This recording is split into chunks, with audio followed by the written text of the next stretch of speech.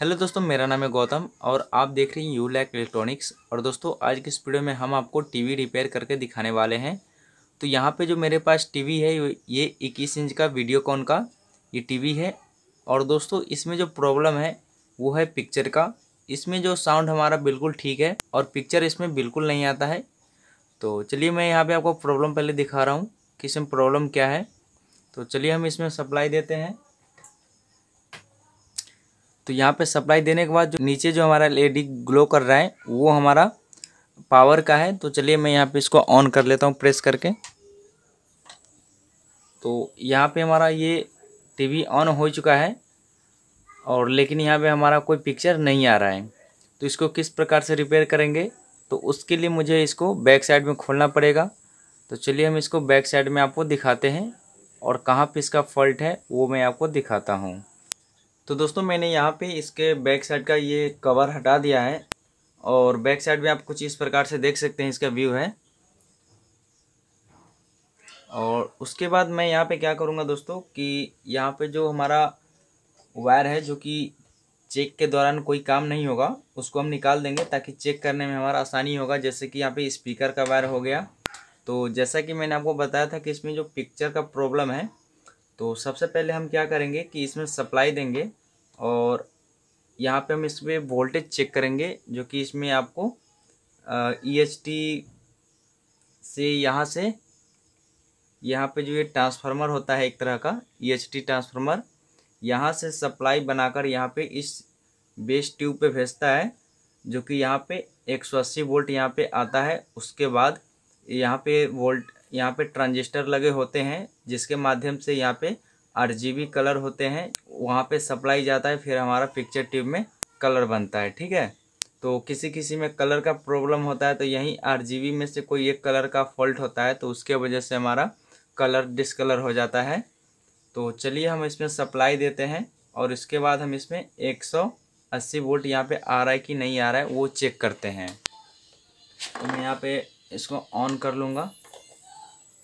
और मैं मल्टीमीटर को यहाँ पे डीसी पे पॉइंट कर लूँगा। और डीसी पे दोस्तों हम क्या करेंगे कि यहाँ पे जो दो सौ है, उस पर कर लेंगे, नहीं तो हज़ार पे कर लेंगे। उसके बाद हम इसमें एक को ग्राउंड पे रखेंगे और उसके बाद एक सौ अस्सी जहाँ पर हमारा वोल्टेज आता है, यहाँ पे आपको सभी डिटेल्स लिखे होंगे कि कौन से पिन पे हमारा कितना वोल्ट आता है, ठीक है? तो मैं यहाँ पे एक सौ अस्सी वोल्ट चेक कर रहा हूँ। तो आप मल्टीमीटर में देख पा रहे दोस्तों कि वहाँ पे लगभग हमारा एक सौ सत्ताईस वोल्ट आ रहा है, ठीक? लेकिन यहाँ पे हमारा एक सौ अस्सी वोल्ट नहीं आ रहा है। तो यहाँ पे हमारा वोल्टेज ड्रॉप हो रहा है, उसके वजह से हमारा पिक्चर नहीं आ रहा है। तो हम इस फॉल्ट को देखेंगे कि हमारा जो यहाँ पे 180 वोल्ट का जो सप्लाई आता है वह वो हमारा ये ई e ट्रांसफार्मर से आता है।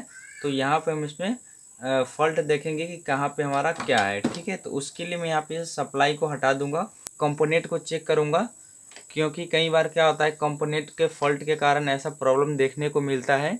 तो मैं यहाँ पे पहले इसमें सप्लाई को कट करता हूँ, उसके बाद इसमें मैं कंपोनेंट को चेक करता हूँ। दोस्तों, अगर आप टीपी को रिपेयर करते हो तो आप बहुत ही सावधानी से इसका रिपेयर करें। तो यहाँ पे मैं इस बोर्ड को इस बॉडी से निकाल लूँगा। और उसके बाद यहाँ पे जो हमारा ये सेक्शन है, उसमें मैं चेक करूँगा। तो मैं इसके थोड़ा नज़दीक कर लेता हूँ कैमरे को। अब मैं यहाँ पे ई टी ट्रांसफार्मर के सेक्शन को मैं चेक करता हूँ कि कहीं पे कोई हमारा कंपोनेंट तो हमारा ख़राब तो नहीं।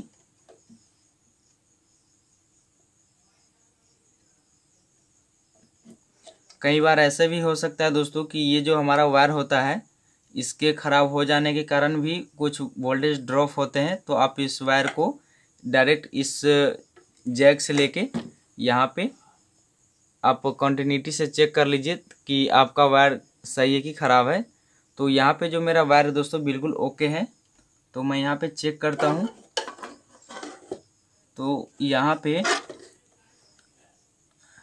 मुझे एक कैपेसिटर दिख रहा है, जो कि यहाँ पे कुछ फुला हुआ नज़र आ रहा है। आपको कैमरे में नज़र आ रहा है कि नहीं आ रहा है, मैं आपको जूम करके दिखा रहा हूँ।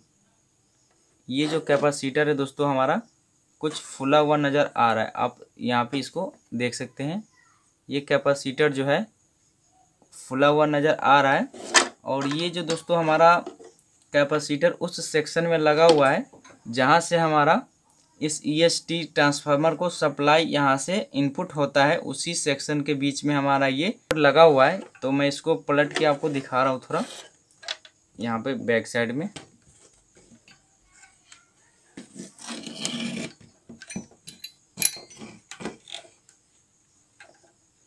तो इस प्रकार से यहाँ पे मैंने इसको पलट दिया है। और यहाँ पे जो ये कैपेसिटर लगा हुआ है तो यहाँ पे जो 110 वोल्ट इनपुट होता है इस ट्रांसफार्मर में। यहाँ से मैं इस गत्ते को हटा देता हूँ यहाँ से। इसमें हमारा सप्लाई 110 वोल्ट जाता है। उसके बाद हमारा यहाँ वोल्टेज को बूस्ट करके यहाँ पे 180 वोल्ट हमारा यहाँ पे जो लिखा हुआ है 180 वोल्ट यहाँ पे आउटपुट करता है। तो यहाँ पे कैपेसिटर जो है हमारा थोड़ा ये ख़राब नज़र आ रहा है मतलब फूला हुआ है तो पहले हम इस कैपेसिटर को चेंज करके देखेंगे कि ये हमारा प्रॉब्लम सॉल्व होता है कि नहीं। जहाँ पे हमारा 180 वोल्ट बनाना था, वहाँ पे 127 वोल्ट बना रहा है। तो हम यहाँ पहले कैपेसिटर को चेंज करेंगे, उसके बाद हम इसमें देखेंगे कि हमारा वोल्टेज आ रहा है कि नहीं आ रहा है। तो अगर वोल्टेज हमारा 180 यहाँ पे आ जाएगा तो हमारा प्रॉब्लम यहाँ बिल्कुल सॉल्व हो सकता है। तो पहले हम यहाँ पे कैपेसिटर को चेंज कर लेते हैं फटाफट से। और कई बार क्या होता है कि यहाँ पे जो 180 वोल्ट आउटपुट करता है, वो हमारा एसी में होता है तो उसके लिए डीसी में बदलने के लिए यहाँ पे एक डाइवोर्ड लगा होता है, जो कि इस साइड से देख सकते हैं, यहाँ पे डाइवोड लगा होता है। उसके बाद यहाँ पे एक कैपेसिटर लगा होता है, जो कि इसको फ़िल्टर करता है, फिर यहाँ से हमारा वायर के ज़रिए इस पे ई ट्यूब किट पे जाता है। लेकिन यहाँ पे कैपेसिटर शॉर्ट हो जाने के कारण या डाइवोड ख़राब हो जाने के कारण वो हमारा काम नहीं करता है। तो आप इस बात का भी ध्यान रखें कि आपका यहाँ पे जो डाइवोड है वो ख़राब है या सही है। और यहाँ पे कैपेसिटर लगा है इस सेक्शन में, ये भी आपका ख़राब है कि सही है। तो आप ये सब थोड़ा चेक कर लें। कई बार क्या होता है, इसी फॉल्ट की वजह से 180 वोल्ट यहाँ पर नहीं आता रहता है। तो मैं यहाँ पे इस कैपेसिटर को यहाँ से निकाल लूँगा सबसे पहले। तो चलिए मैं यहाँ पे इस कैपेसिटर को यहाँ से निकाल लेता हूँ। मैं यहाँ पे इस कैपेसिटर को निकाल देंगे।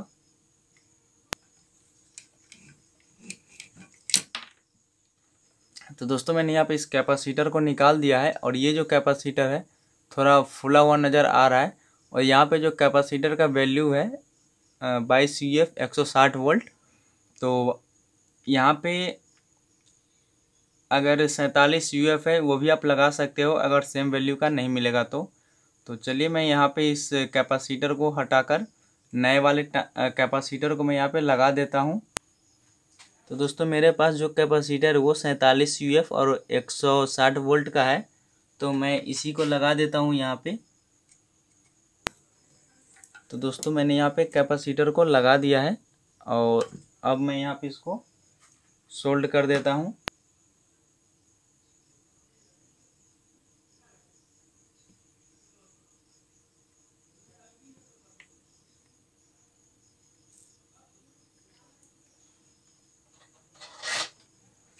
तो दोस्तों, मैंने यहाँ पे इस कैपेसिटर को चेंज कर दिया है। देख सकते हैं, मैंने यहाँ पे ये लगा दिया है। तो चलिए, अब मैं इसको ऑन करके देखता हूँ और उसके बाद देखते हैं कि हमारा 180 वोल्ट आता है कि नहीं आता है। तो यहाँ पे सिंपली इस बोर्ड को मैं हम यहाँ पे इसके बॉडी में लगा देंगे और उसके बाद मैं यहाँ पे फिर से सप्लाई दूँगा और यहाँ पे ट्यूब के बेस पे मैं चेक करूँगा इस पर वोल्टेज आता है कि नहीं आता है। अब मैं यहाँ पे टीवी को ऑन कर लेता हूँ। तो दोस्तों, मैंने इसमें सप्लाई दे दिया है और फिर मैं यहाँ पे वोल्टेज को चेक करूँगा। तो यहाँ पे मैं आपको वोल्टेज को चेक करके दिखाता हूँ। आपको डीसी पे ही रखना है, यहाँ पे, ठीक है? और उसके बाद मैं यहाँ पे वोल्टेज को चेक करूँगा। तो यहाँ पे देख सकते हैं आप मल्टीमीटर में एक सौ अस्सी तिरासी वोल्टेज हमारा यहाँ पे बना रहा है। तो ये हमारा दोस्तों बिल्कुल ओके वोल्टेज यहाँ पे आ चुका है। और साथ ही देख सकते हैं यहाँ पे हमारा पिक्चर ट्यूब में भी आ गया है, जो कि हमारा यहाँ पे बिल्कुल सही है, ठीक है? मैं यहाँ पे देख सकते हैं पिक्चर ट्यूब में भी हमारा ये ग्लो कर रहा है। इससे क्या दोस्तों कि ये हमारा टीवी ओके है। तो चलिए मैं यहाँ पे आपको टीवी का पास ले चलता हूँ और दिखाता हूँ कि हमारा पिक्चर जो है, आ रहा है कि नहीं आ रहा है। तो देख सकते हैं यहाँ पे हमारा ये बिल्कुल ओके है। तो चलिए मैं यहाँ पे इसके बैक साइड से पूरा ढक्कन को लगा देता हूँ, इसको बंद करके फिर मैं आपको चेक करके दिखाता हूँ। तो दोस्तों मैंने यहाँ पे फाइनली टीवी को सेट कर दिया है और अब हम इसको चेक करके दिखाते हैं कि जो हमारा प्रॉब्लम था वो सॉल्व हुआ कि नहीं। तो यहाँ पे मैं इसमें सप्लाई दे रहा हूँ और उसके बाद हम इसको ऑन करते हैं।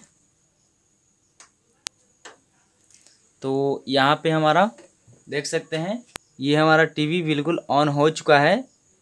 और पहले क्या था कि यहाँ पे हमारा बिल्कुल ब्लैक आ रहा था, इसमें कोई पिक्चर नहीं आ रहा था। तो यहाँ पे अब हमारा डिस्प्ले में पिक्चर आ चुका है। तो दोस्तों, जैसा कि आपने देखा कि यहाँ पे जो प्रॉब्लम था एक कैपेसिटर के वजह से वैसा फॉल्ट था। तो यहाँ पे अगर आपके पास ऐसा ही वीडियो वीडियोकॉन का टीवी है या कोई अदर कंपनी का टीवी है, अगर ऐसा फॉल्ट हो तो आप इस प्रकार से रिपेयर कर सकते हो। तो दोस्तों, हमारा वीडियो कैसा लगा तो प्लीज़ लाइक करें शेयर करें और हमारे यूट्यूब चैनल को सब्सक्राइब करें। वीडियो देखने के लिए धन्यवाद। आपका दिन शुभ हो।